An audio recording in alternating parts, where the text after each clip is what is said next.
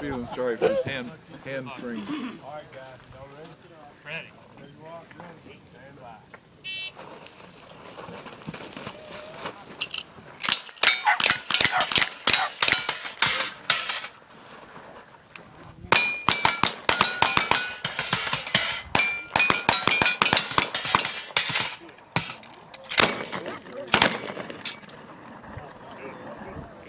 Y'all good. That's very good.